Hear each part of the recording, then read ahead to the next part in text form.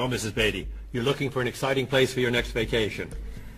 I usually travel to major cities in Europe, but this time I want to go someplace different. Someplace away from the city. As long as it's safe. Let's see. Ah. How about California? The Big Sur area is spectacular. California has lots of earthquakes, doesn't it? Well, they have earthquakes occasionally, but not very often. But it does have earthquakes. Yes.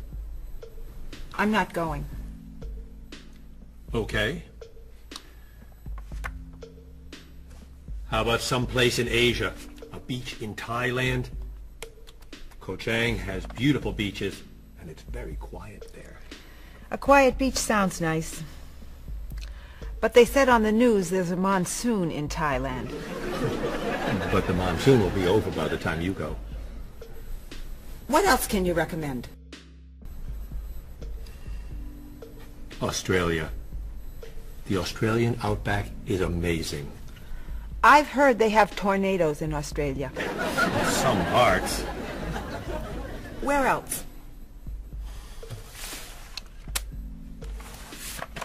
Jamaica? Hurricanes.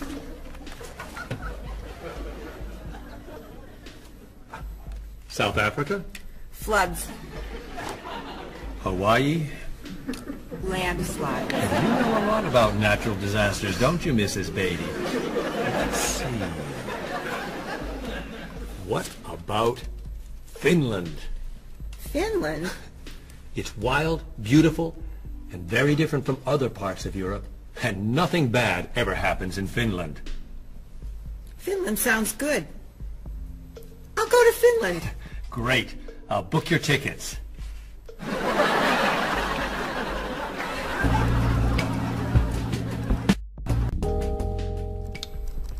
Okay, I just booked your tickets to Helsinki, Finland. You'll be staying at the Palace Hotel. That's great. Excuse me, Mr. Evans. Yes, Marie. Mr. Woods is on the phone. He told me to tell you it's urgent. Urgent? He's traveling, you know. Yes. He said there's some kind of epidemic. What kind of epidemic? It sounds like it's that new influenza. But he was vaccinated for that before he left. I know, but he told me to tell you that he wants to fly home today. On the internet, it says only three people are sick. That is not an epidemic. And it's not like anybody's dying from this flu.